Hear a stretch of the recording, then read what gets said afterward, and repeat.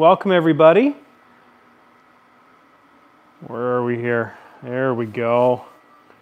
There we go. I think everything's good.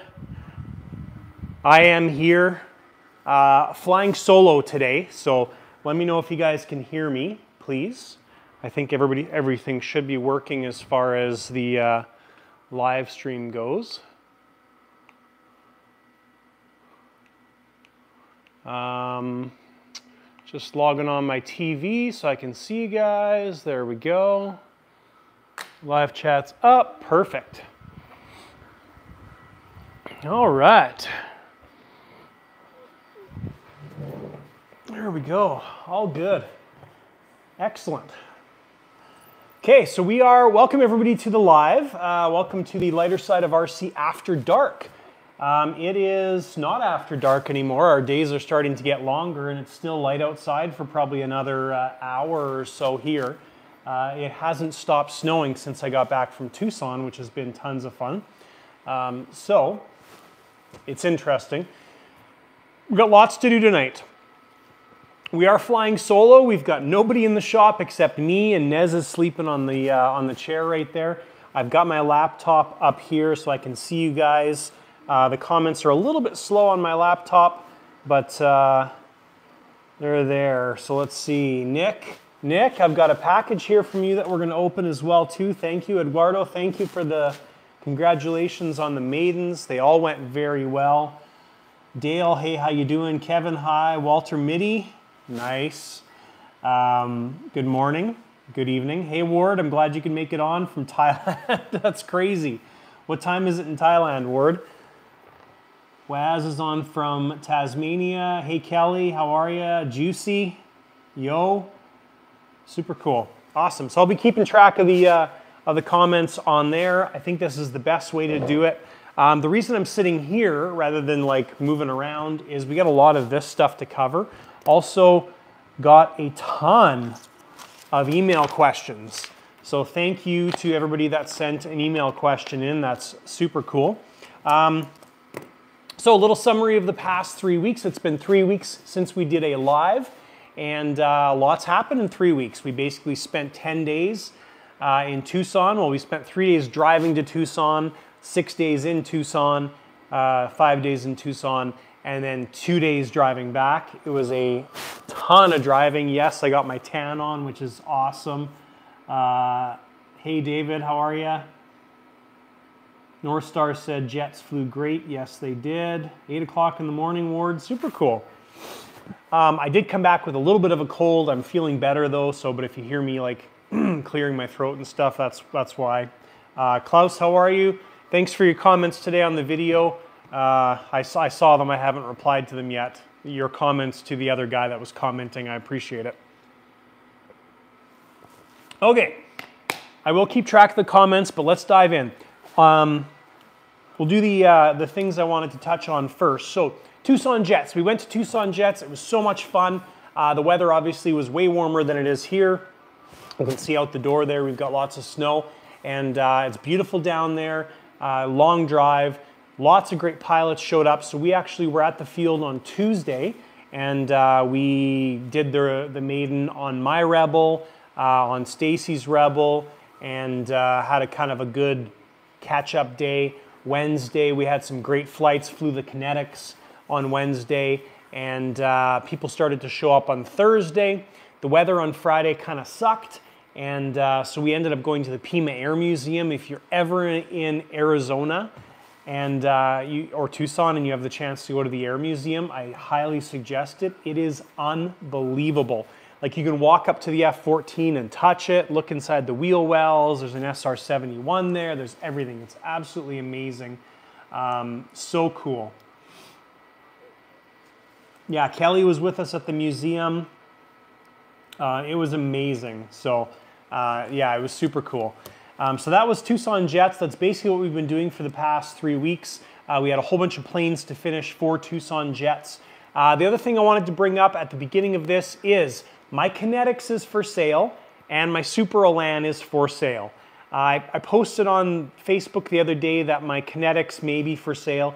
It is. If any of you guys that are watching this are interested, uh, shoot me an email and we can discuss pricing and stuff. I have got three interested people already, so if you are interested and really want to jump on it, I suggest not waiting because those deals are just kind of working out right now. So, but nothing's firm as of yet. Uh, Super Elan also for sale. I would prefer to sell that without the engine, so I can take the engine out and put it in my new BDX that's coming. Um, but I'll, I'll, sell it either way, it doesn't really matter. So if you are interested in the Super Elan or the Kinetics, shoot me an email, the lighter side of RC at gmail.com. Third thing that I wrote down before I get to your guys' questions is the master course. So we don't have a firm date yet. I've got more ideas brewing in my head, but we are doing going to do a master course in spring. What is the master course? Um, some of you guys have reached out. I've, I've put little plugs and stuff on Facebook and in my videos. Please don't comment here and expect me to add you to the list. Please send me an email, the lighter side of RC at gmail.com, and just say I'm interested in the course. Uh, there's no commitment there. All that's doing is saying when I get all the details organized, I'm going to send you the information first. The master course is basically going to be here at the shop. So you have to fly to Canada or for your local, come to the shop. And uh, the reason we're doing it in spring is so you can pair it up with a nice kind of vacation. There's lots of amazing things to see around where I live. And uh, spring and summer are definitely the best times to visit.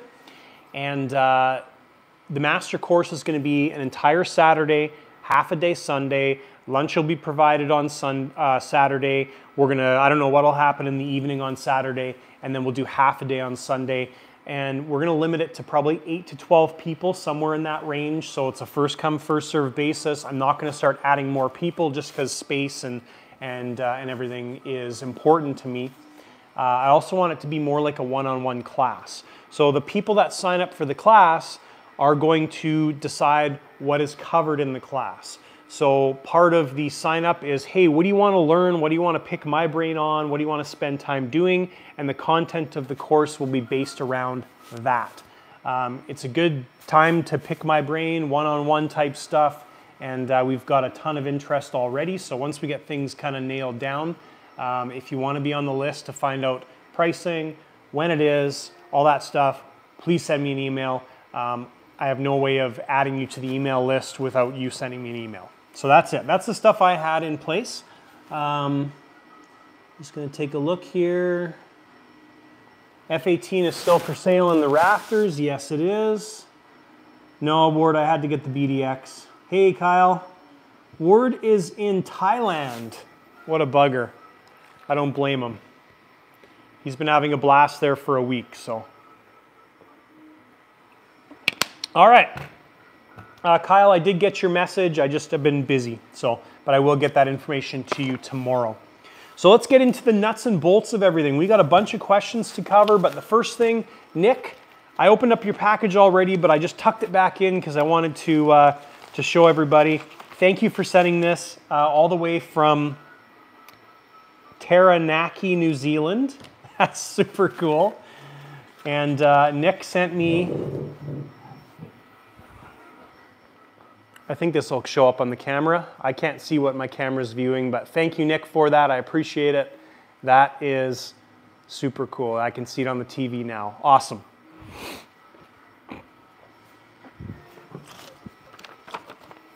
I appreciate that very much. Thank you. Love getting little tidbits in the mail like that. That's super cool. Um, the stuff that's on the table here, when we did the Rebel Pro build, I designed the GS200 flush mount and there's been some people that have reached out to me and said, hey, can I buy the flush mount? So I just printed black, white, and red. And um, these will be added to the, uh, the website as well soon. They're the exact same design that I, uh, that I installed on the Rebel Pro. And then also, these have been here at the shop for a while. These are from Joe. These are the smaller battery mounts. Um, I just haven't had any time to, uh, to add these to the website, so the smaller battery mounts in wood will be added soon. Um, okay, just checking on comments. All right, so we got a bunch of questions from you guys. Thank you so much for the questions. Uh, we've got a ton, and that's why I set this up because I think we're going to spend a fair bit of time going over these questions. And if you guys have any other questions while we're going through this stuff, uh, just comment on the live chat, and I will see the, uh, the comments here um, on my, my screen. So, all right, so Bill, my friend Bill, sent me a message and uh, or an email, and we've got a seven questions. So I'm going to go over each one of these individually. Uh, transmitter layout, uh, he said, or he asked, how do you, Jonathan, do it? What sticks, buttons, sliders, etc. on the TX for which function? The DS16 preferably from Jeti. Should I replace some of my DS16 switches? I have a lot of two position switches that I'm thinking about replacing with three position switches. So let me grab my radio and I will come to the front there and uh, I'll show you guys exactly what my layout looks like.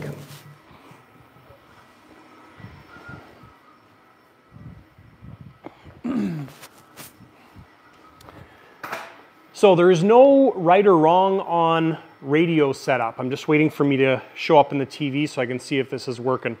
So there's no right or wrong on radio setup. Um, it's gonna be whatever is familiar for you. One thing I would suggest is if you've been flying for like 25 years with a certain layout, probably not a good idea to change it. I've seen accidents happen when people do that. Um, so my, my layout's always been the same for me and uh, David, who I, I uh, do a lot of planes for, his is a little bit different. So um, as far as the radio goes, this is kind of the generic uh, gear switch right there. Uh, I have seen people do something different, but this is, is basically the gear switch. Pretty much every radio follows that same layout. Now I use this switch here for my, it's a three position switch, for my flight modes or flaps. Okay, so this is really my, my flap switch. Uh, David, who we build planes for, um, this is the flight mode or flap switch that he uses. Um, generally, I will use this switch. It's a two position switch on my radio for lights, master lights on off. That'll be my master lights on off. Now the reason I use, or I, I started using this switch for flaps was let's say you're doing a, uh, you're coming in for a landing and you need to do a go around. Well, generally you're throttling up. Sometimes you're taking the flaps off, so it's right there. Also with my hand, it doesn't make a lot of sense for me to have my flap switch here because it's a little more complicated for me to get to. Um, on my Jeti radio, this is my master on-off switch right here. It's a locking switch, and this is my gyro on-off. Um, this can also be a three position switch. It'll still work as a gyro on-off, but I switched mine, I think I switched this to a two position. This switch is, I don't really use for anything, and uh, this is kind of my accessory switch. I used to use this for buddy boxing right here, but uh, I've started using, or I've always really used this for, let me take a step back. I did start using this as my buddy box switch, but I always use this as my smoke on off switch.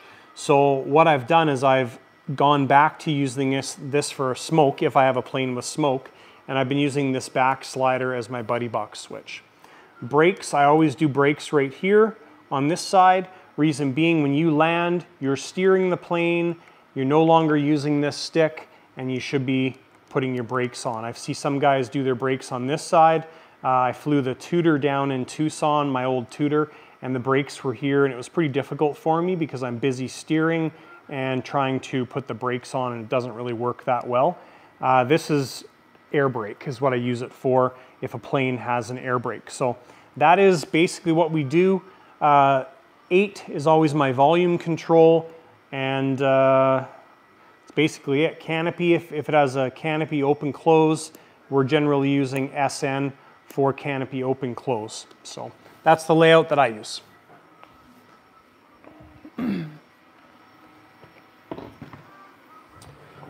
All right. Let's see. Klaus said Jeti's phenomenal with customizing layouts. Yeah, you can do anything anywhere. But uh, what the, the one thing that I suggest is just consistency.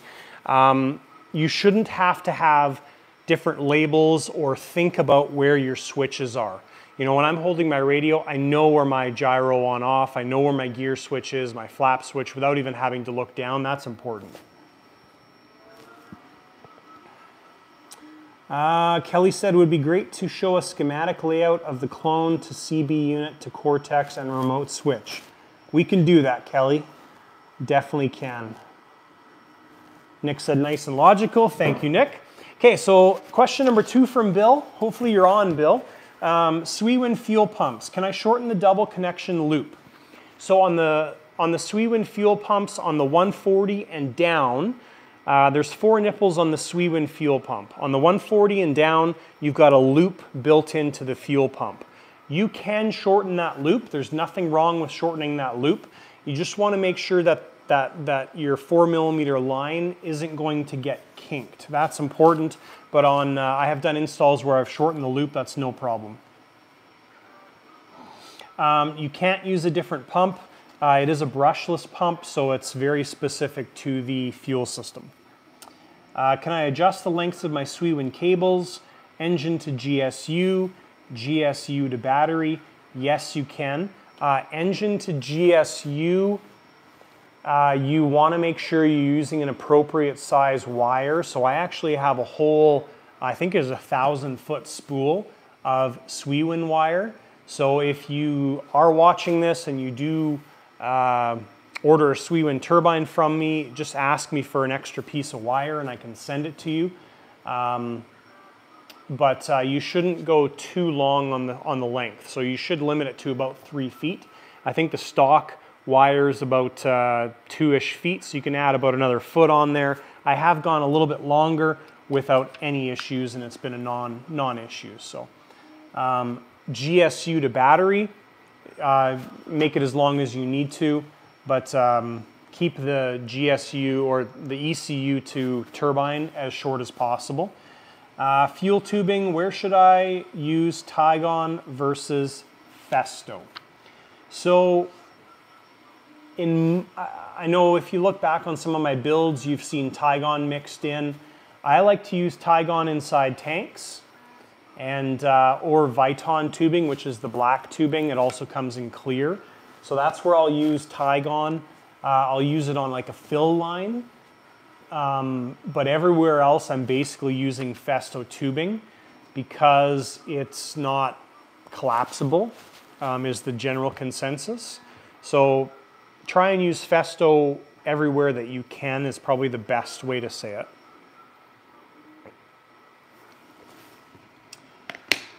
Um, the recommended 3S battery, so this is question number five from Bill.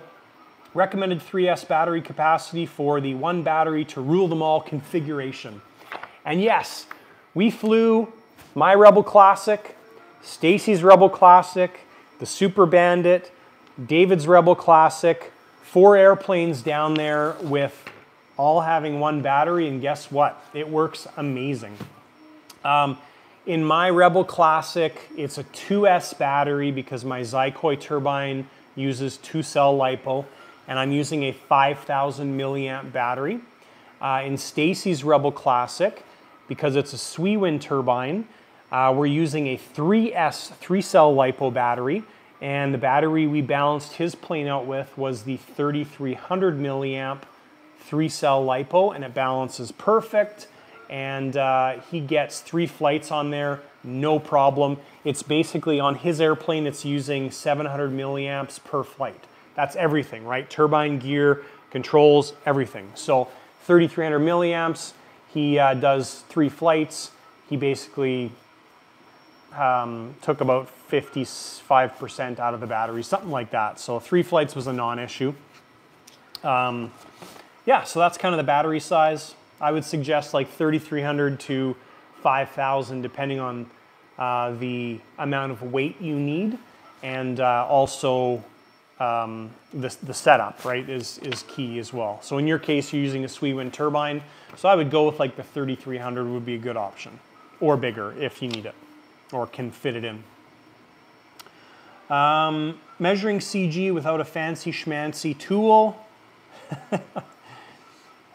Tank fuel levels, gear position, etc. So always balance your planes, your jets in landing configuration. That's the simplest way to think about it. So with a Rebel Classic, you're never landing with zero fuel in the fuel tank. If you are, that's a big problem. So when I balanced my Rebel Classic, I put about 750 milliliters in the fuel tank, which is uh, about 20% fuel left. And uh, that's where we balanced it, right? The fuel tank's in front of the CG, so it does affect it. Um, gear down, UAT full. Uh, if your plane has a fuel tank right over the CG, then having fuel or not having fuel isn't going to matter. But in your case, you're working on a, um, a Boomerang Ranger right now. The fuel tank is in front of the CG point, so you want to have fuel in your fuel tank. I would put a quarter tank of fuel in that aircraft when you balance the CG. Um, so Klaus said the ECU to turbine wire is not critical length, is it? Uh, not really, but um, the recommended from Swiwin is you should keep it around 36 inches max.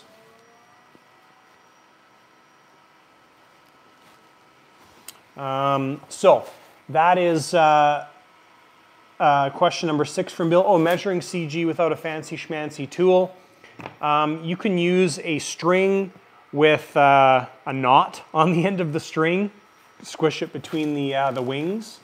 Um, you can make a jig that mounts on the, the wing tube. Um, one of the fancy non-technical tools that I have is a piece of string with two of the old Futaba round uh, horns on it. Now on a big scale jet, you don't want to use that, but on like a sports jet that you know doesn't weigh a ton, no problem at all. You tuck those underneath the wings, you install the wings, you get the string set on the CG point, you lift it up and that's it. So there's lots of different ways to accomplish it. And last question Bill had was wire routing. Which wires, if any, should I try to keep away from what wires and electronics? Um, generally, I would say, like, I'm thinking about the SU-30. We, when we did that plane, we basically put all the control wires on the right side of the plane. All of the power wire is on the left side of the plane. Um, obviously, there's going to be intersections there at some point, but that's really what we did, um, is just keep the power wire away from the control wire. Uh, is it critical? Maybe not, but you know the bull bull suffered interference on the vSpeak unit. So uh, when we install a vSpeak unit, we keep the vSpeak kind of separate from any other items. Um, so hopefully that answers your question. Awesome, thanks, Bill. Uh, Ward said, "Would would you not fly with less than 50% battery?" Not really, Ward. I like on my Rebel, as an example, what I did when I was down there was two flights and recharge. That's just the easiest way to do it. Um, it, all your planes, if you do three flights and recharge, that's just the easiest way to do it. Always keep those systems in place because it keeps your planes alive. All right, so that is questions from Bill. Um,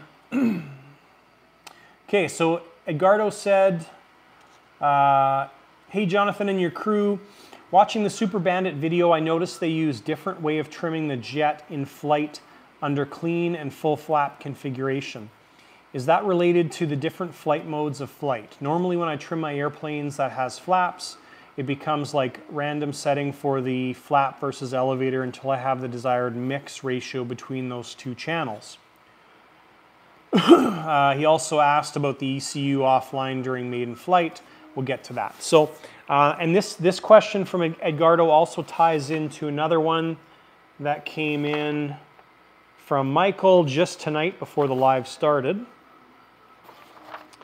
Um, so I'll, I'll also bring up this question as well too because it ties into the exact same thing. So Michael said, hey Jonathan, can you explain the different flight modes on the Voodoo Scheme Rebel Classic and the purpose and benefits of each flight mode. So it, it ties into both airplanes. So um, if you think about uh, the flight modes we have on our radio, we've got essentially in its simplest form, you have three flight modes, but there are more possibilities, right? So the flight modes in its simplest form are normal flight, uh, takeoff flaps, landing flaps. But on something like the, um, the Rebel Classic, there are times when you may want to do a slow pass with your, your flaps fully extended. So that's going to be a different trim setting than when your gear is down, right? So having an additional flight mode that's tied up to your tied into your gear up is also beneficial. So really you could have uh, five different flight modes. So you could have your um, regular flying flight mode, a uh, takeoff flap with gear down, takeoff flap with gear up, landing flap with gear down, landing flap with gear up, and they could all be different trims. When you have your gear down, that's gonna add additional down trim. So when you have your gear up, it'll be a different trim setting. So that's the reason for those different flight modes and those different trims on all the flight modes. Um, with something like a, a, Rebel Classic, you can program sort of where they need to be, but all the final adjustment needs to be in the radio. So that's why the first three minutes of that video is just trimming the, the, uh, the plane out in all those different characteristics or conditions. And once that's done, it just is, is done. It's super simple. Um, the Super Bandit's very much the same as well too, same kind of scenario. So, yeah. Kelly asked if Kaya ordered a Rebel. So when my daughter came with me down to uh, to uh, Tucson. She had a blast. I posted a picture on Facebook, and she has never held a radio before, ever. And uh, she did a buddy box session with Patrick, Kelly's son, and uh, she flew a jet for the first time. That was her first time ever holding a radio, ever flying anything, and it was awesome. She did three circuits with the jet, and uh, we haven't ordered a Rebel Classic yet. She hasn't given me any money for it, so. But if we do sell the kinetics and the super Elan, things can change. Have fun, Ward. Have a great day. Uh, Nick said, be kinder on your battery as well. Yes, if you don't drain it so much. So those are the questions from Michael and uh, Edgardo. Oh yeah, there's more here. So also, what caused the ECU offline in the maiden flight? So during the Rebel, or the, uh, oh, now I can feel like I'm talking normal. Sorry, my 3D printer's been going all day. Uh, the Super Bandit had a ECU offline condition, and I think uh, during the video, David mentioned that it's just, uh, it was information overload or something like that. So that's, that was the reason for it. Uh, the flame out on the second flight, I think was just high speed. Uh, maybe it was a bubble in the UAT, and uh, Patrick was pushing the second flight a lot more than Coco did on the first flight. And uh, I will, uh, I'll let you guys know, since you're, if you're watching this, you're probably true fans. A week from today on Saturday, there's an Easter egg at the end of the Rebel Pro video. So the Rebel Pro video has already been uploaded. Channel members have already seen it because channel members can watch early. Uh, but there's an Easter egg at the end of that video during my pictures I always add in. And uh, that's all I'll say. So check that picture out, little Easter egg for all you viewers. All right, so let's see here. So we got that one. All right, last question that I have uh, from email is from Sheldon. So Sheldon said, are you going to use any fuel bags for US customers that you know of? I'm wondering where to buy them and would love to see you set up some because uh, one would be great on my Mephisto. So Danny at, uh, at from Aeropanda, uh, he posted a picture a few a couple weeks back, and uh, so Danny's got a Kinetics that uh, his is actually his second Kinetics now, and he's replacing the tank in the Kinetics with a fuel bag setup. Um, so it's going to be kind of cool to see that. The picture he posted of the fuel bag with the two um, two rods that the fuel bag sits in or on or part of. Um, that is the fuel bag that's going in the Kinetics. So I'm sure we'll start doing some of it, more of it. Uh, it's still not legal in Canada. Maybe it will be eventually. Usually when things happen on the, on the US side, they eventually come here.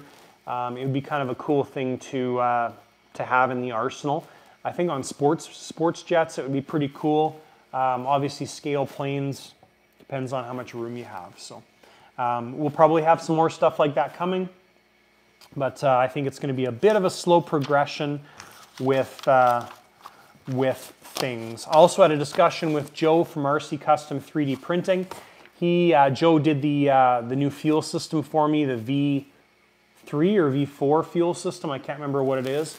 Installed it before we went to Tucson. It was awesome to have down there. Thank you, Joe, for that. And uh, we had a discussion the other day about fuel bags and his his um, his fueler system and, and all that. So there's there's some cool things that uh, that he's working on as well too. So that is the stuff. F16 sitting right there. Um, yeah. If you guys have any questions during this live, just ask away. Uh, it's going to be a little bit Maybe, well, it's going to be less shaky because there's nobody holding the camera, so. Hmm. Our, um, excuse me, uh, the RC Air Experience, our podcast channel, uh, we're doing two podcasts recording, two podcasts next week. Um, so those will be released over the next little bit here. We're just playing catch up with, uh, with being so busy, so that's also coming as well too. And uh, yeah, back in the saddle. So let's do some stuff. All right, I'm going to flip you guys around. There we go. Perfect. All right, now we're to get a little bit shaky. Sorry about that. Uh, Edgardo, did David, David physically flew a Super Bandit? He didn't, so Coco flew the first flight. Um, he wanted Patrick to fly it. Patrick's got tons of experience with Super Bandits, and uh, he flew the second flight. He was happy with it, put it away, and uh, he will fly it in California. So um, F-16 is here. We are ready to bolt the fuselage together. So we've been waiting to continue with the F-16. So on YouTube, we've done three videos. Video number four will be out on Wednesday. That catches us up to where we are right now. And uh, we're continuing with the F-16. So lots to accomplish there. We have accomplished lots since we got back from Tucson.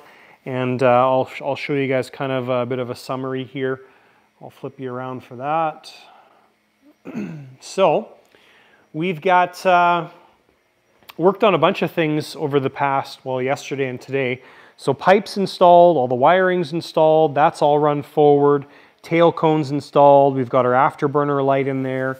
Uh, the white paint, the BVM ceramic paint is all done.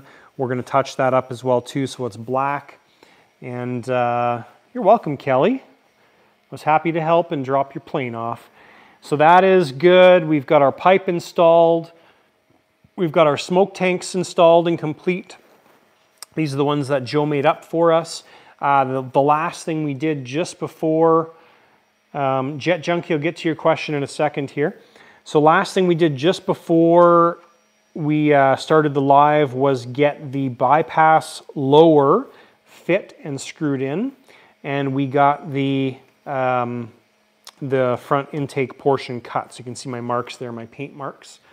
So before we can do anything else with like plumbing, tanks and everything, we need to bolt the front fuselage on because our bolts come in from this direction here. So our tanks need to come out, intake needs to come out to access all those bolts. We're gonna do some extra stuff on the fuselage joining, but that is where our F-16 is. Big boxes in the background. What, what's in the big boxes? Well, let's see here. There we go. That's what's in the big boxes. A Bronco. so yes, we've got a Bronco coming, or well, Bronco's here. Um, we're gonna do the unboxing probably tomorrow. Not sure when that video is gonna be released. The Bronco is going off to paint, so the Bronco is actually being stripped, glassed, painted, uh, panel lines installed, drop tanks done, weathered, nomenclature installed, uh, and then it comes back to me and we do the, uh, the installation. So it's gonna be fun. Um, what else here? Oh yeah, Super Elan, well, without its booms installed, it's for sale. And uh, we've been going crazy with 3D printers as well too. So there's gonna be some videos released on 3D printers. So we got the new Qidi Tech in about three weeks ago. Couldn't talk about this because uh, we couldn't say anything until March 20th. Been loving this thing. We've printed a whole spool of this red filament through it. This is uh, carbon PLA and just been printing a whole bunch of cool stuff and it's working absolutely amazing.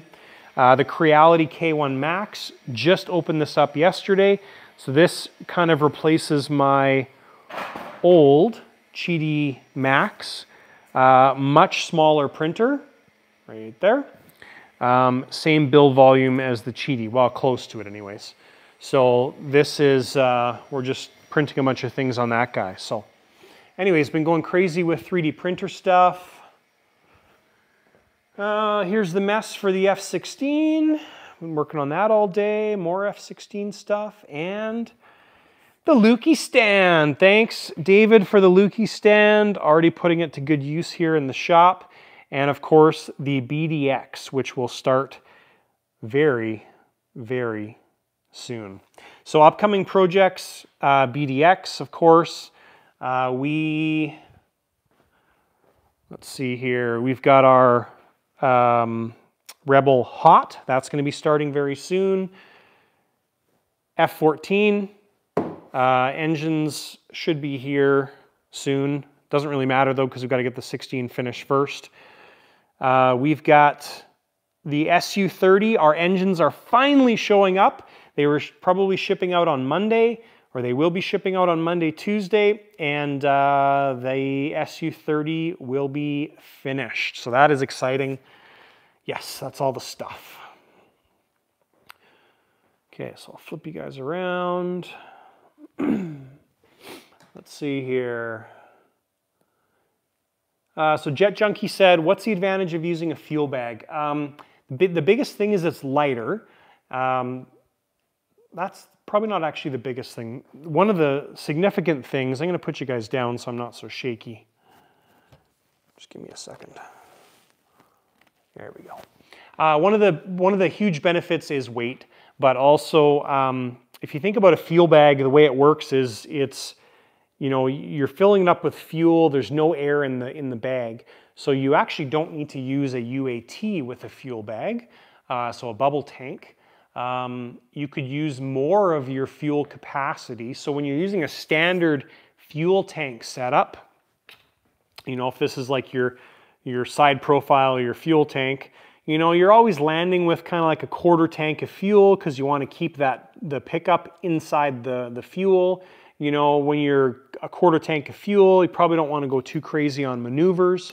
But when you think about a fuel bag, you can run that bag till there's almost nothing left. So that's probably the biggest advantage. Uh, so thinking about something like the Kinetics, if you had a six liter hard tank in there, which is what's in the Kinetics, and you put a five liter fuel bag in there, uh, generally when I fly my Kinetics, and I'm usually only using three liters of fuel, so there's still like two and a half, three liters of fuel left on board. So you can go with a lot smaller fuel bag, like let's say four and a half, five liters, and suck that thing almost dry. So there's quite a few benefits to the fuel bags. Uh, you wanna make sure that you don't, uh, um, it's not rubbing on anything. There's lots of restrictions with it, so. Um, let's see here. Hey Kenneth, should uh, should have you do an OV10 for Ad Senior. He flew them back in the day. Oh, cool, super cool. Yeah, this is a. I think it's gonna be a great plane. Um, we're putting this. Uh, this one's gonna be electric, and and the owner Kyle, he actually flew them as well too. So, um, Philip, I need one. Everybody needs one.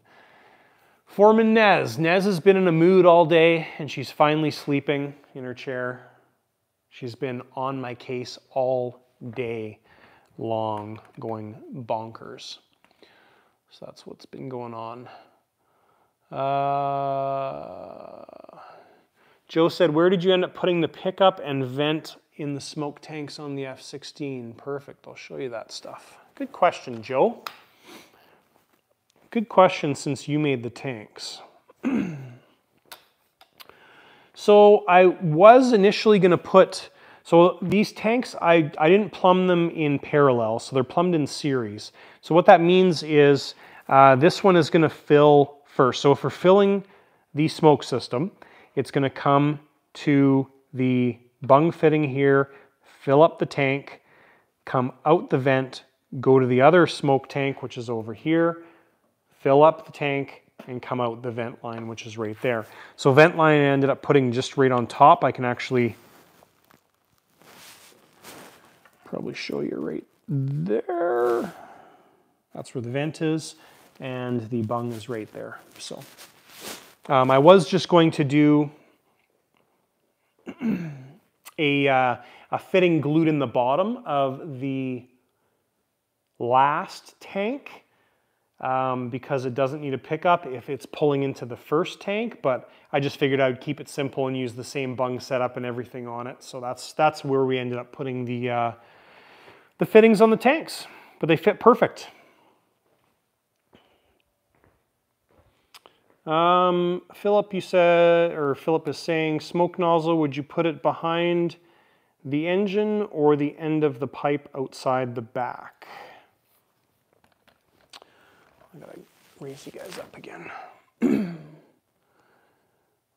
See you, Kyle. Say hi to Jill for me as well, too. Um, so Philip, to ask, answer your question, generally I would put those right behind the turbine. Uh, I have run a smoke nozzle to the very back of the pipe before. I did it on my one of my ultra flashes, I used a big long section of brass tube. I think it was like three feet long, and it actually ran in between the walls of the pipe, and so the inner and outer pipe, and then I just bent it down at the end of the pipe. It worked fine, but uh, it's cleaner, easier, um, I think better smoke if it's right behind the turbine. And on this F-16, we're doing, I didn't disappear, I just crouched down. On this F-16, we are doing two smoke nozzles. So these guys right here from DreamWorks.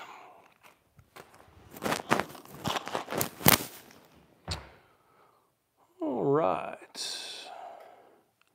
So Gardo, for old school builders like me, I am considering in investing in a laser woodcutter and 3D printer. So if you have to choose one of them, what would be your advice? Ooh, I definitely use my 3D printers much more than my laser cutter. Um, really the only thing that I use my laser unit a lot for is to make these shims for servos. Uh, these are the shims that I used in the Rebel uh, builds and uh, there's people that have contacted me and asked me to buy these so that's why I printed a, or cut out a bunch. But that's pretty much what I use my laser unit for the most. Um, I mean, obviously it's super useful, but a lot of it is design stuff and it's a little bit more tricky. So if you're picking between those two, I would definitely go with a 3D printer first. And uh, I feel like you'll get a lot more use out of the 3D printer. Um, I do at least, I print a bunch of things for it. It's usually running kind of every day or so. Yeah, so that's, uh, hopefully that answers your question. Um, yeah. So I think that is catch, or that's caught us all up. Just gonna make a little spot for you guys. And we are going to continue working on our F-16. Tuck this back over.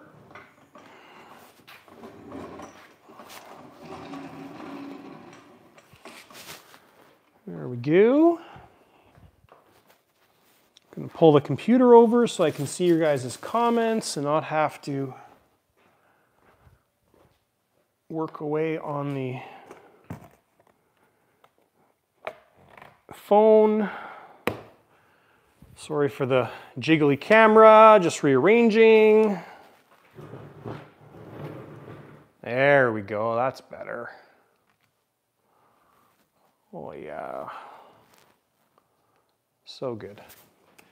So good, that's awesome. I think that'll work good. Okay, so if you guys have any comments, I can still see them. If you have any questions, perfect. How many people attended Tucson Jets? Um, I think on the Saturday, there was uh, 50 registered pilots um, at that point. So it was about 50, 55 or something like that. So great event. Uh, there was never a time, I was saying this to Stacy on our, our drive home, uh, there was never a time that we wanted to fly that we couldn't fly. So there wasn't like a huge lineup. Like when you go to some of these events like uh, Kentucky Jets, as an example, um, you're waiting in line to fly your plane. So it gets a little bit tedious sometimes. Uh, this event, we were just hanging out, sitting in the chairs in the shade on under the cover. And when we wanted to fly, we would just go fly. So it was a great event. A uh, good number of people. It kind of reminded me of Montana Jets. So Montana Jets is very similar in size.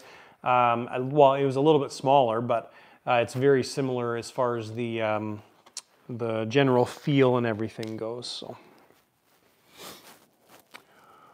Area 51, how are you? Kelly counted about 87 jets. That's super cool. Yeah, there was lots of planes there. I mean, there's a lot of planes that didn't fly either. But um, yeah, there's lots of, uh, lots of cool planes there pretty much a smattering of everything. BVM was there, so there was lots of BVM jets as well that, uh, that were there. So what I'm doing is I've got to take the bypass out uh, to get the tanks out to bolt the fuselage together. So that is the goal of this episode tonight is get the fuselage rear bolted to the fuselage front.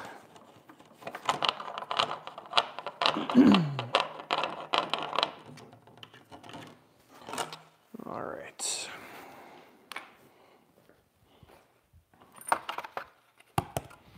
So this lower bypass, uh, this actually was the bypass for, uh, this was the bypass upper for my F4 uh, that I built last year. So that's what, uh, that's what we're using it on. Uh, obviously the shape is not suitable for a 400 Newton engine, which is why when we spread it out and it gets bolted to the former work, it fits beautifully.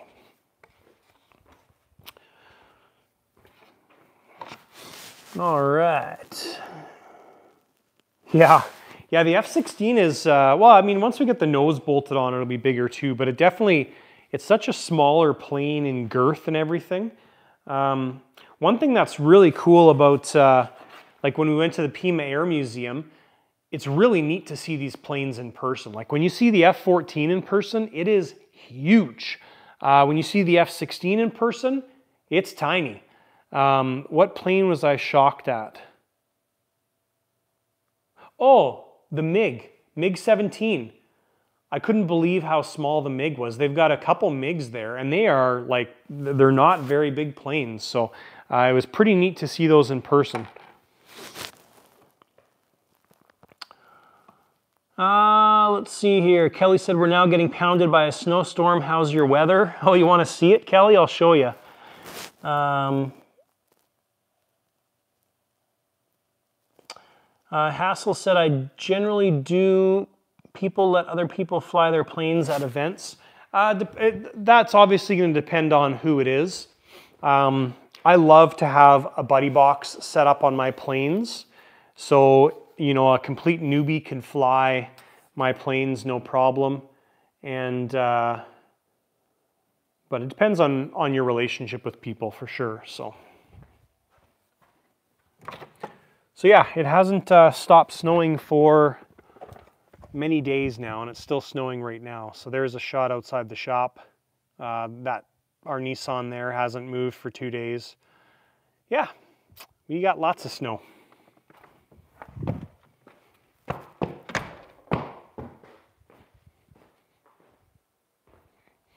So we've gotten about 30 centimeters so far. 30 centimeters is uh, I don't know what it is. Three inches or something like that. I don't know. Maybe it's more. Too much brain power to figure that out right now. There we go. Nissan's tired. Nissan is tired. Nissan, her name's LaFonda. Hopefully it doesn't offend anybody, but that's what I call my, my black Nissan. So LaFonda is very tired. She did a great job driving all the way down to Tucson and back. What is snow? Yes, Victor. Yes, I know. Uh, what did Kelly say? Kenneth said on the Super Elan, wasn't there a model that was nitro that was smaller? Um, the Elan's been out for a long time but any of the Boomerang models have always been turbine powered.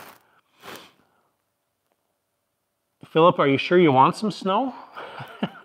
it was dry when we were in uh, when we were in Tucson. All the snow had melted. Come back from Tucson, the snowstorm rolls in, and it hasn't stopped snowing. So, um,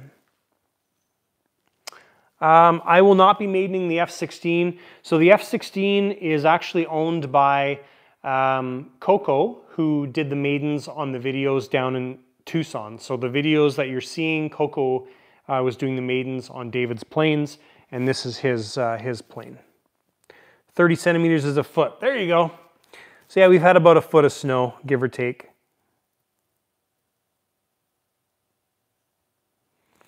So, okay, so we got our bypass out, we got our front out. Now we need to take our engine rails out so we can get our tanks out. I've put these engine rails in and out multiple times so far, and I think this will be the last time they need to come out and go back in, I hope.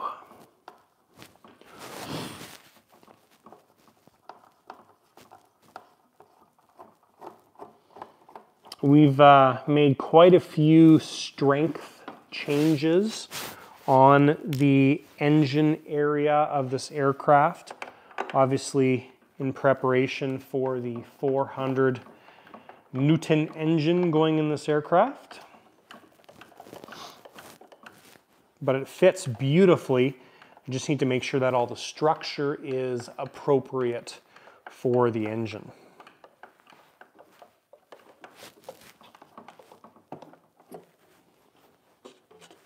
All right.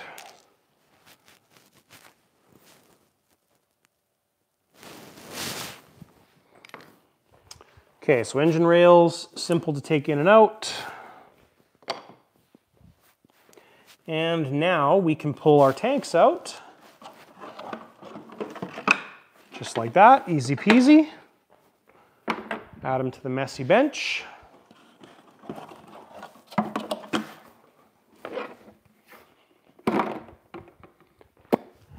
Awesome.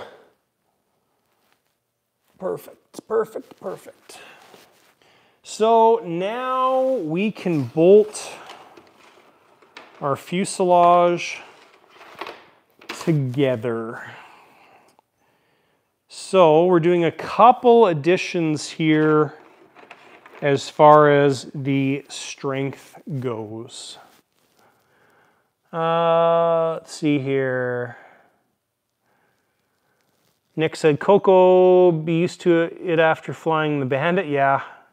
Victor said, my wife can record Coco flying easier now after doing it for four years. Yeah, no kidding. You kind of learn his, his pattern, right? So, uh, Flying Leduc said, when are you starting the OV10? So the OV10 is, I'm going to be unboxing that and uh, just doing the unboxing video. Then it's going to Joe at RC Custom 3D Printing. Joe's going to strip all the, the stuff off, do all the painting and all that. Then it'll be coming back. So it'll probably be back to me in maybe a month or so. But uh, we'll be starting on it whenever it's back from paint. So I'll bring you guys in and then I've got to record this stuff as well. So flip you around. So one of the things with the F-16 here from Skymaster is you do need to keep the um, front of the fuselage removable. I think. I think that's a good idea. Anyways, we want to reinforce our connection point here between the front and the, the main fuselage. Now, I've been thinking about this for, uh, well, quite a, quite a few weeks now. Um, I was thinking about maybe doing a pin here in this area, um, but I don't really think that's going to be super awesome. And the reason for that is our tanks come right up to the front here, so we don't have much room in this area to do anything. Um, so what I was kind of finalized on today is at the very least, we are going to add some more fasteners on this lower portion between the main fuselage and the nose. So instead of just using the three bolts here, we're gonna probably add one, two, three, four. That's gonna make a, a, the connection a lot stiffer. And then we may put some additional ones right in that location as well too. I'll see how it goes. But uh, the key here is just to, to make all of these areas as strong as possible uh, at the owner's request. All right, so we've got some more questions here. I'm just gonna raise you guys back up. Flip you around. There we go. All right, some more questions. What do we got? Uh, Jagman said, on this F-16, instead of a sequencer timer for the gear doors, can you have a switch on the gear that gets triggered when the gear goes up and automatically closes the gear doors. Um, you can, there's lots of different ways to do it. Um, this F-16, things are a little bit unique because we've got mechanical locks for our gear doors and those need to be sequenced in the whole um, on, on everything. And the other thing we have is we've got a fail safe or a condition set up where if the pressure drops so let's, I'll, I'll back up for a second. The fail-safe on the gear is probably going to be set to like 60 psi. So if the gear drops, if the air pressure drops to like 75, those locks will automatically open. And if the air pressure continues to drop and hits 60 or whatever our, our fail-safe point is, then the doors will open and the gears will come down. So there's a little, there's things like that. I've, I've heard of optical uh, sensors. So you could use like an optical sensor where it needs to, if you had three, for example, your gear would all need to come up. Um, when, when all three are triggered, um, then your doors would close. Um, but on this F-16, we have those physical locks because the gear is never really fully locked up. Uh, it kind of sags in, in high G pulls. So, um, living life at 60, how does, sorry, your, your screen name is odd. How does the Transport Canada rules affect flying your jets? Do you need to, uh, do you need the advanced certificate? Keep up the great work as it got me back into the hobby. Super cool.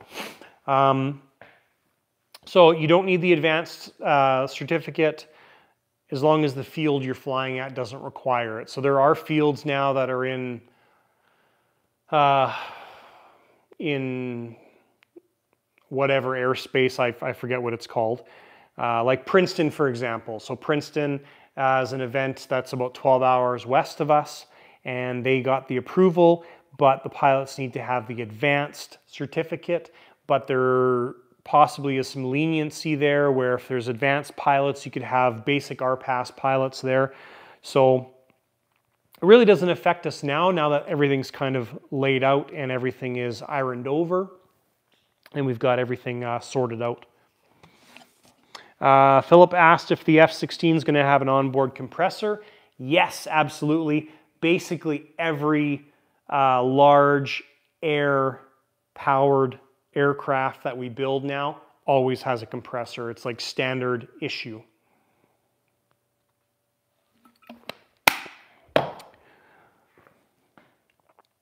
Awesome. Usually four kilometers from an aerodrome, yes. That's kind of cool, the overhead view. I like it. Uh, do you guys like the overhead view? Not that there's a choice because we don't have a camera person today. Okay, so I gotta record the video portion of this now, so bear with me.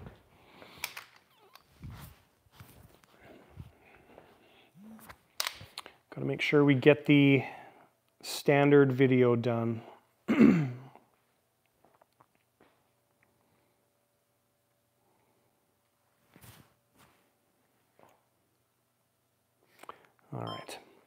Okay, so we've got our bypass out, we've got our front ducting out, we've got our fuel tanks out. It all comes out quite easy, and we are ready to bolt this fuselage together. Our front tank or our primary tank still needs to be fastened in place, but uh, bolting the fuselage together is the next thing we want to do. Now, we spent a bunch of time thinking on this thing, uh, trying to figure out a more stronger way to join the front fuselage with the main fuselage. Now, the stock system is awesome, works great. I just want to do it a little bit better. I thought about putting pins in this area here. The problem is the fuel tanks come almost all the way forward, so there's really not a lot of room here for adding a pin that joins the two pieces of the fuselage. So I think what we're going to do here, cancel that. I think what we're going to do here is we are going to add some additional fasteners to this V shape in the front here. So probably one, two, three, four. Um, that's probably going to be sufficient overall. We may put a couple more here uh, in this area as well too. We'll see how it works out, but uh, we are going to put some additional fasteners in this aircraft.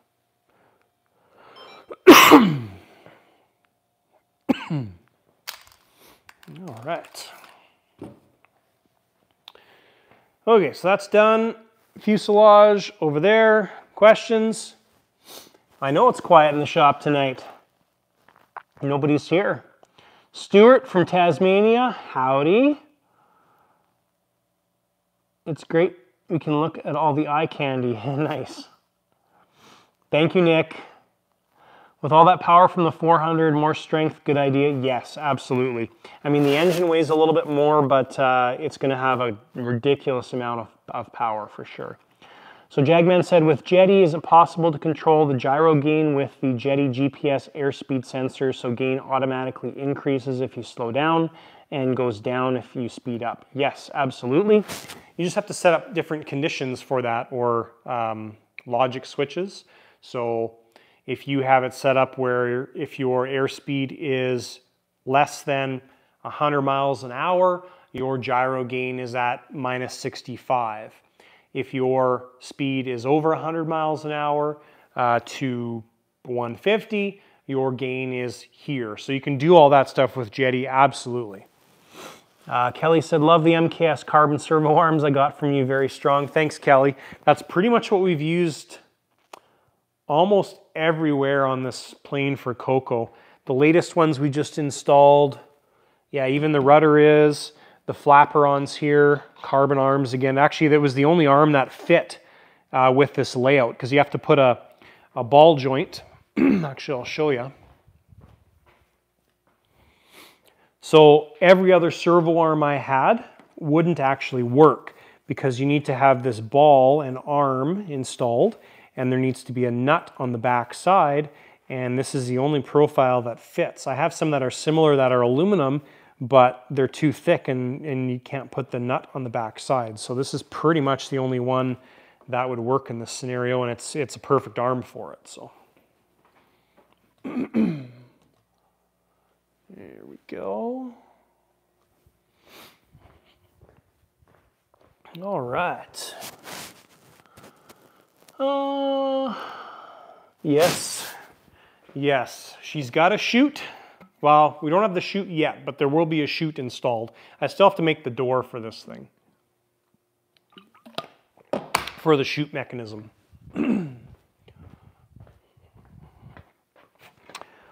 All right, so fuselage front. It's very, very light.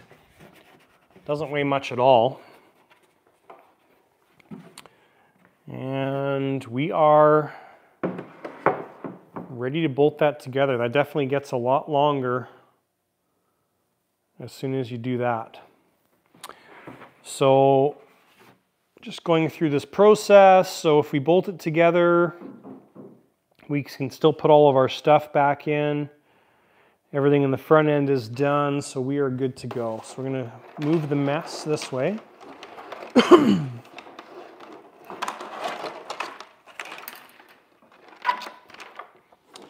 this is one of the reasons it's kind of important to label all your stuff as well. Because it becomes very messy, and that's not even including our all of our leads from the back here as well too. It's just a, a mess. Okay, so that's good. Need to figure out our hardware that we're using. Should be these big guys. Nope. Those ones, yes.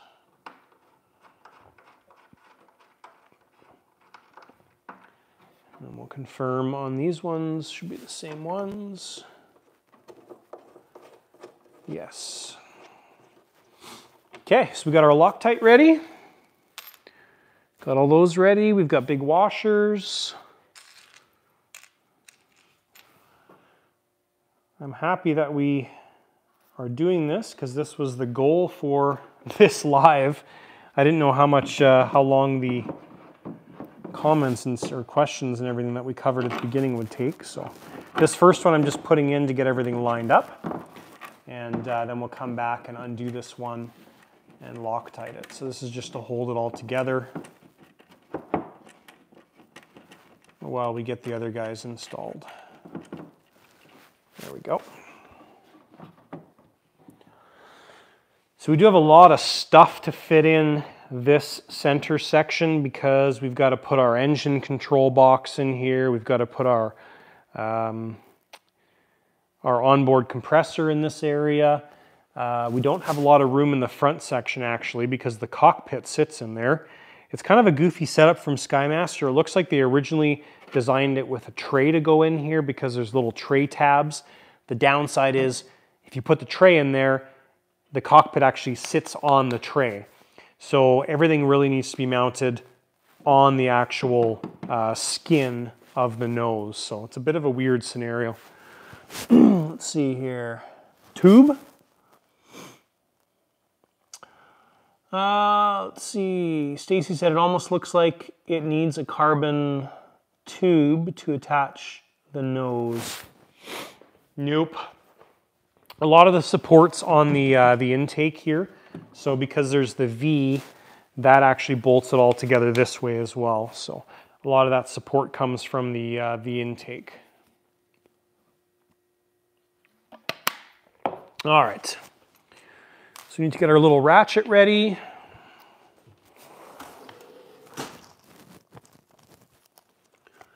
Appropriate size bit.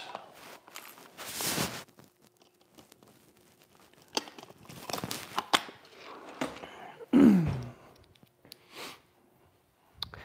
this is one of these tools that is insanely helpful in this scenario. So it's the little tiny quarter inch drive ratchet and it's so nice because you can use this to tighten up those bolts in those tight areas. And uh, you're not having to use an L bend and keep resetting over and over and over again. So, all right, Loctite. Lots of Loctite. So we'll do our front V-bolt first, just to get that lined up.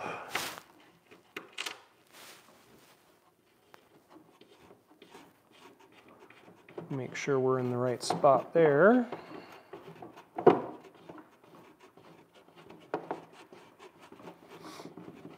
Now when you're doing this type of connection, you wanna make sure you don't tighten up the bolts until they're all installed. So we're gonna get it mostly tight and then uh, not go all the way tight because you may need a little bit of adjustment, a little bit of movement here and there in the entire fuselage um, before everything will actually fit in place.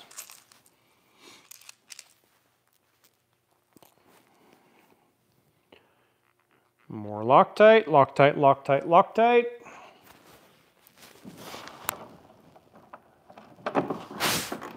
And if you guys, again, if you have any questions, let me know. I can definitely do up bolts while I answer questions.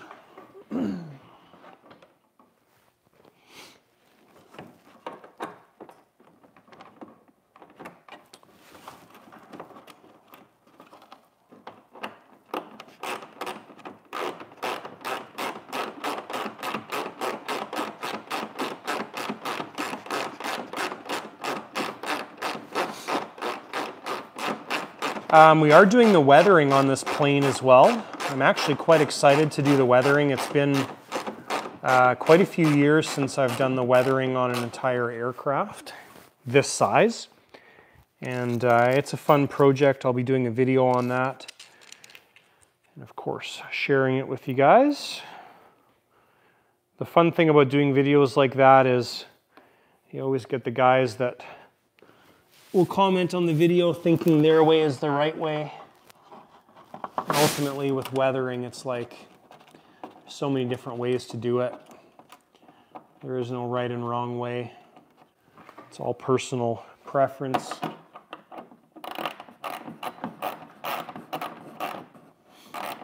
So now that I've got both of these um, bolt, bolts done up beside the center one that I put in, they're not done up all the way, they're just loose, but I will take that center one back out and add Loctite now.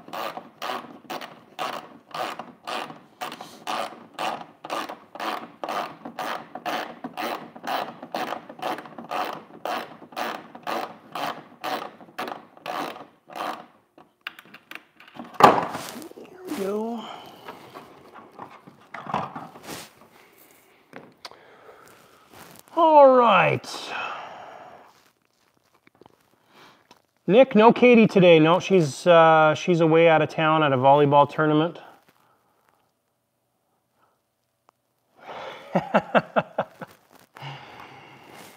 Again, Ed, Edgardo, if you a week from today, if you watch the Rebel Pro video, there is an Easter egg at the end of that video in my pictures. That will answer your question. Um, Phil said, which Loctite do you use? Um, so I don't know if you're asking about brand, but brand really doesn't matter. Um, I'll, I'll often use the Zap brand, um, this stuff here, which I just got at my local hobby store. I sometimes have the actual Loctite brand, but this stuff works as well too. Works good. I just buy the big bottles and I fill my little bottle up um, multiple times with the big bottle. But blue is, is kind of common. I, you can use red on the fuselage like this, but blue is, is good. Just use a lot of it. Um, can fuel bags be used with both nitro and kero? Um, nitro fuel, I don't know. Uh, kerosene, yes, they're now approved. Um, usually nitro and kero have different properties. So usually like the fuel fittings are different for nitro compared to gasoline and kerosene. Um,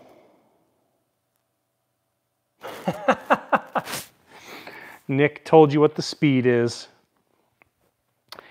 Hey, if David's on and he wants to share the speed, he can, but I, I unfortunately will not share the speed. but again, watch, the East, watch for the Easter egg and you'll find out the speed.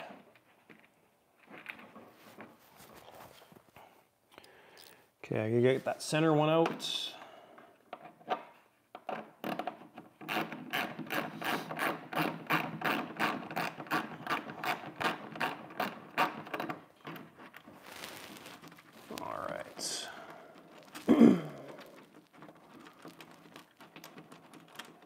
Yeah, it's sure a lot quieter doing the lives without a bunch of people here.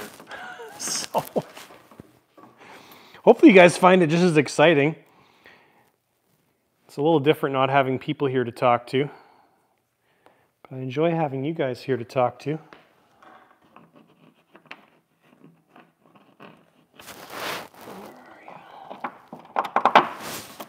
There we are.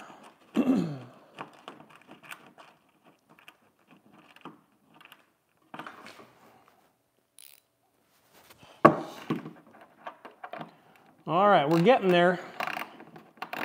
We have the two to do in the tips there, or the V portion.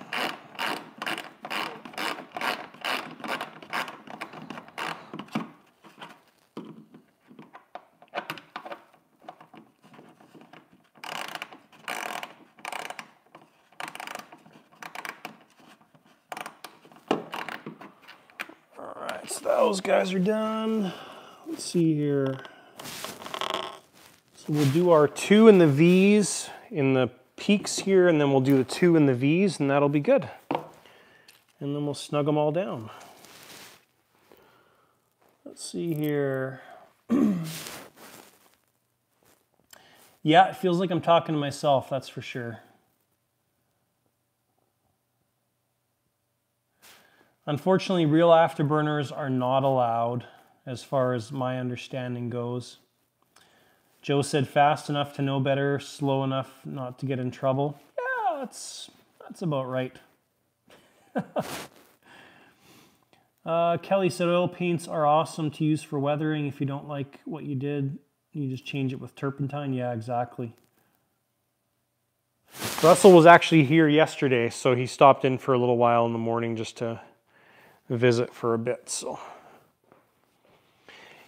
so yeah, it'll be an interesting um, weathering session on this guy. I think what I've decided I'm going to do is we're going to use oil paints on all of our seam joints or all of our panel lines and rivets. Um, that's kind of what I've done in the past. And uh, then you just wipe it in the direction. And then we may go back in with an airbrush and do some airbrushing. So I'm just, I'm gonna see, the, the fun thing about weathering, like you just said, Kelly, is it's like if you don't like what you did, you just take off what you did. So it's, uh, it's fun, I enjoy it.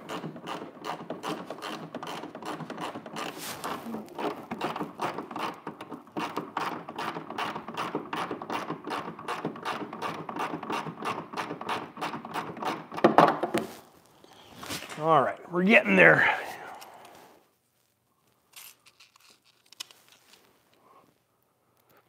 Three more fasteners to go.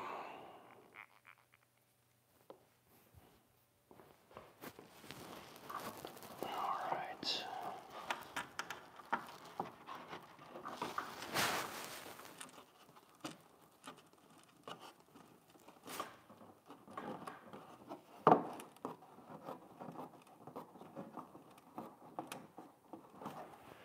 Got it.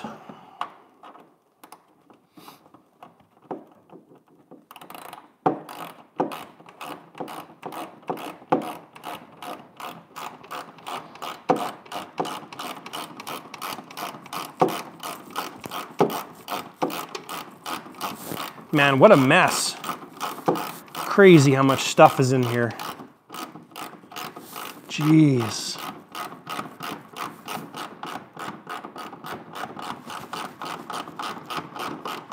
hundreds and hundreds of feet of airline and cables.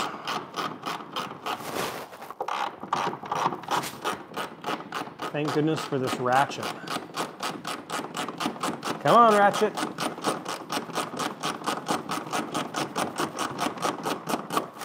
There we go. Okay. Looks like less of a park flyer now. Yes.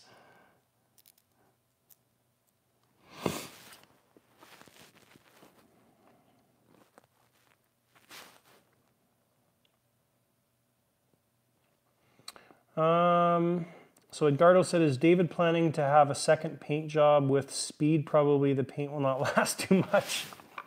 Well, I actually brought, uh, I brought another Super Bandit back with me and another Ultra Bandit back with me.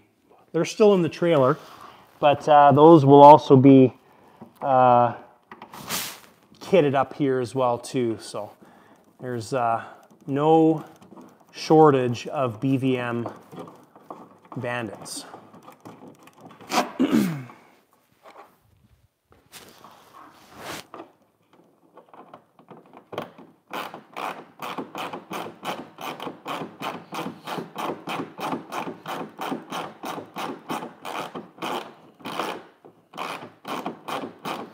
And yes, as soon as you bolt the nose on this thing, it looks much more appropriate as far as the size goes. Less of a park flyer for sure.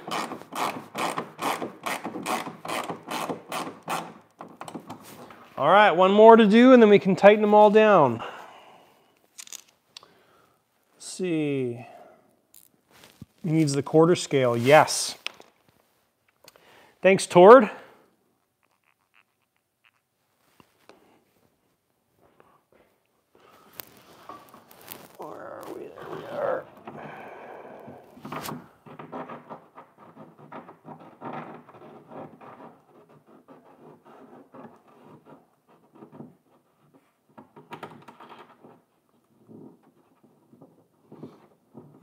go, last one. I think I got it.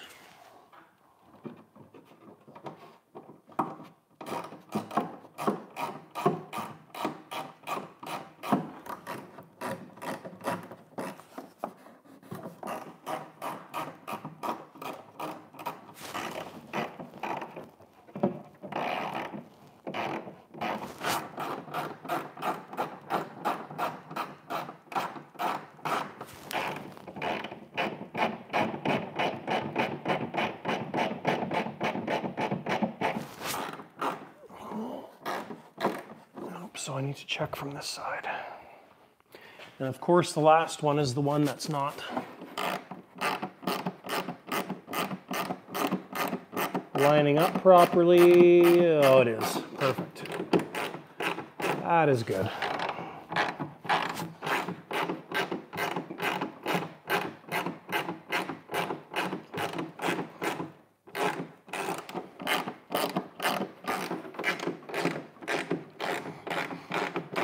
So now with all of our uh, fasteners in the aircraft, we will go through and tighten everything down.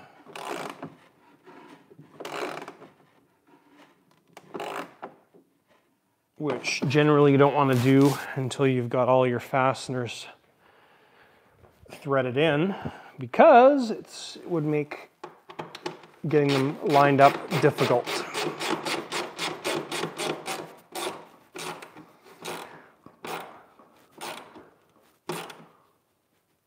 Okay, so our V ones are the ones I'm doing first.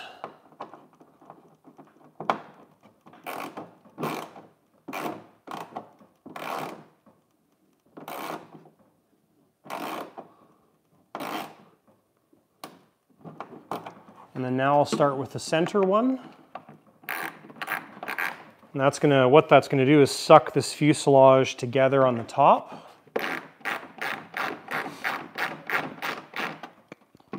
Because we have a bit of a gap in the seam there.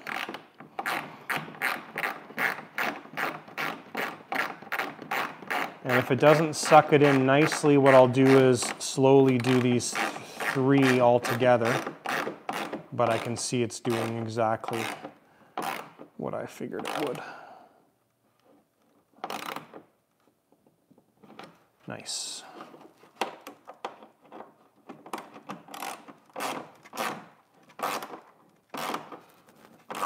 Perfect.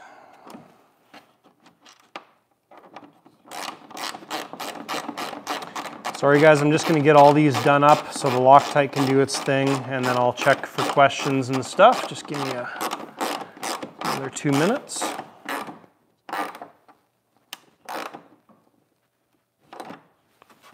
And now we're doing our ones in the peaks.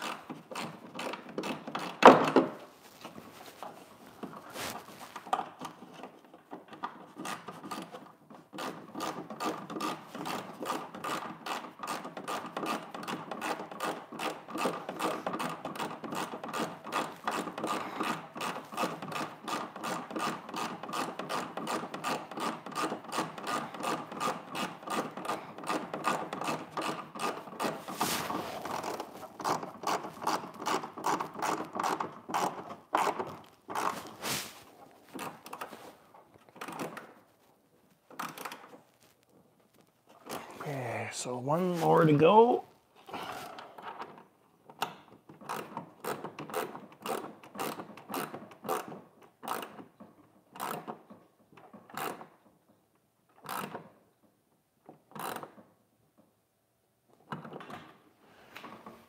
There she is, all done. Well, stock hardware done. All right. Oh, not many, uh, not many comments at all. Russell, you made it. You made it. All right, fuselage is joined. We're done. Build, build finished.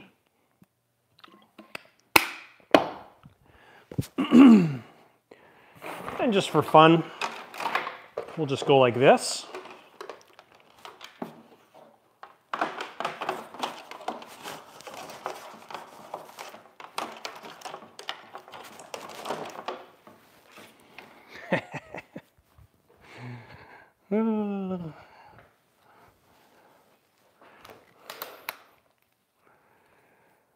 And flip the camera around.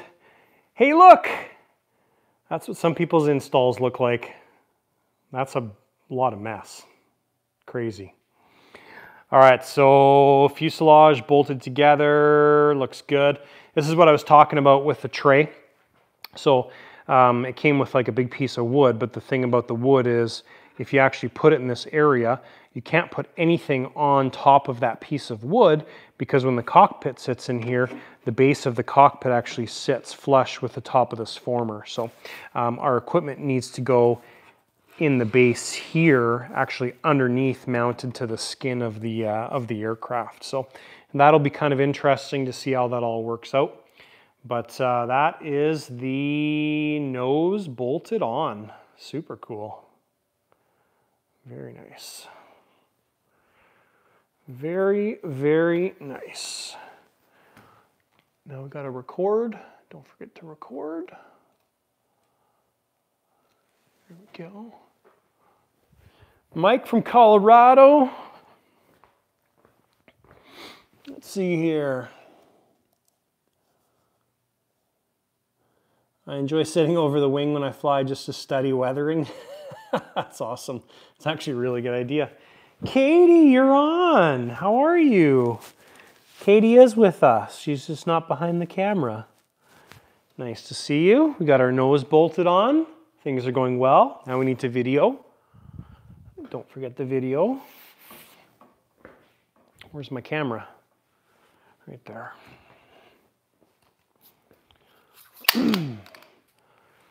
All right, mic check. Mic is on.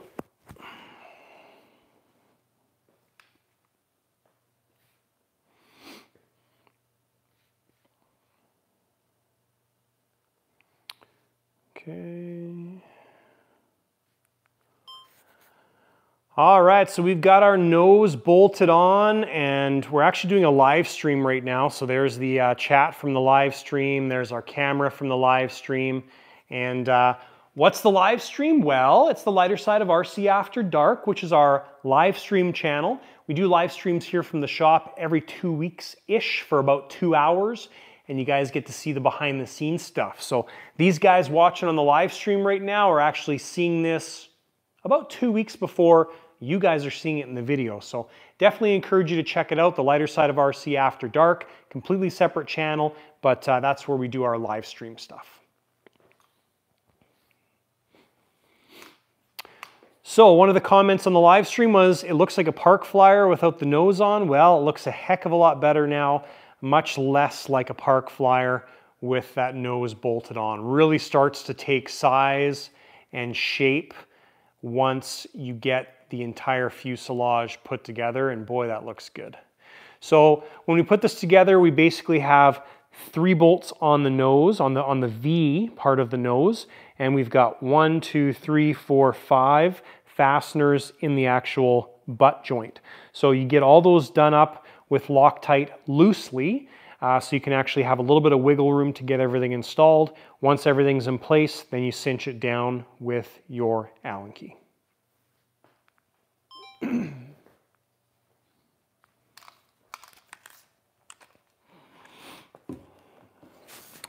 All right, there we go. Video good?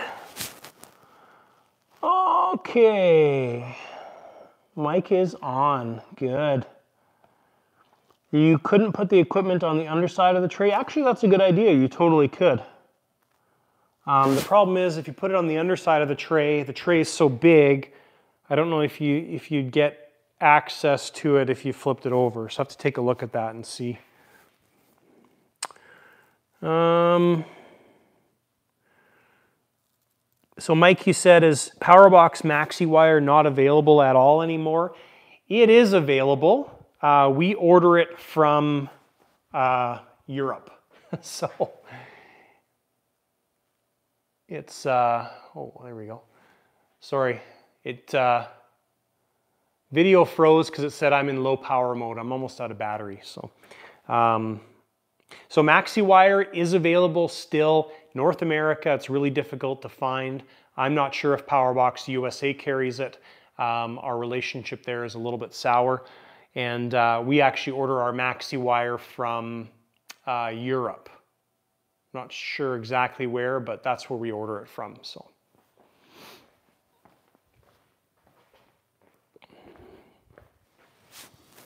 Um, dun dun dun. Philip, you said five by five. I don't know what that means. I don't know what your five by five means. Oh, I forgot to take a video of the mess.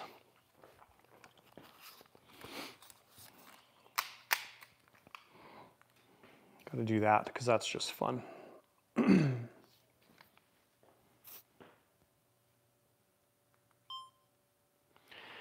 just in case you're wondering why jets are fairly complicated, well, here's all the stuff the wires. That's not even all the wires, but that's all the wires and tubes and airlines that come from the back part of the plane, the main part of the plane, and all run forward.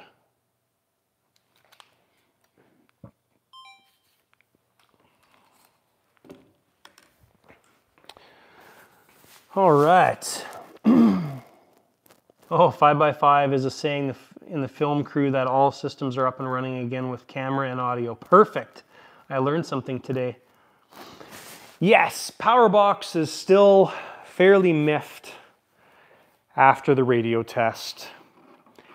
I've moved on. In fact, I've never had an issue at all. Them, not so much. Um, yeah, that's a good accomplishment. I'm happy for that. So Let's see here. What else can we do now? We gotta pull all of our crap out, get our fuel tanks back in, but we've got to do our main tank up. This gets a little bit sucky at this point because everything is more difficult to access now. That's the problem when you join this fuselage together, but we really had no choice because we couldn't do the install of the turbine, couldn't do the rest of the stuff until we had the fuselage joined together. So that is totally fine totally normal. So let's pull the stuff back out for all of our lines and everything.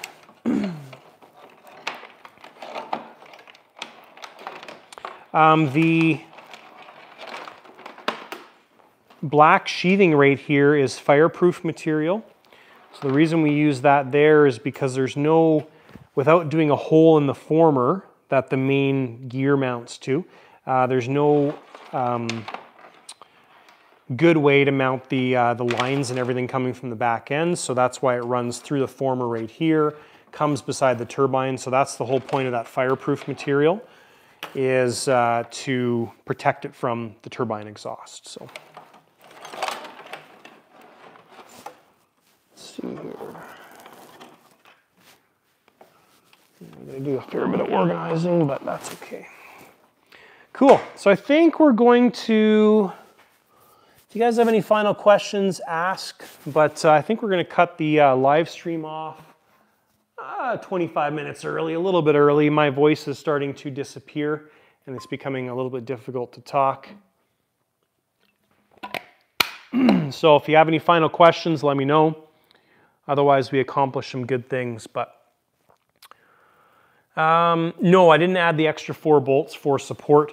I'll do that uh, in the, in, that'll be in the normal video, but um, what I'm gonna do is do that in the V 100%. I think we're good on this joint here but uh, I'm gonna do that on the V itself. So that's just gonna be drilling a hole, screwing that in place. So that'll be fairly simple. Uh, Coco is absolutely an amazing pilot. Um, yeah, it's, it's phenomenal to watch him. Uh, it's phenomenal to stand beside him. And uh, yeah, it's super cool. Coco's an amazing pilot and uh, hats off to him. He's, uh, he's outstanding. I, I love watching him fly. His airplanes, anybody's airplanes, it's super cool. Awesome. Cool, guys. Well, I think that's going to wrap everything up. Um, thanks for hopping on the live stream, and thanks for participating. And uh, yeah, Victor's got a ton of uh, video of Coco flying on his um, his channel as well too. so anyways, uh, thanks guys for watching. That's it. We'll see you next time. See you in the next live two weeks from tonight. And uh, that's it. Thank you.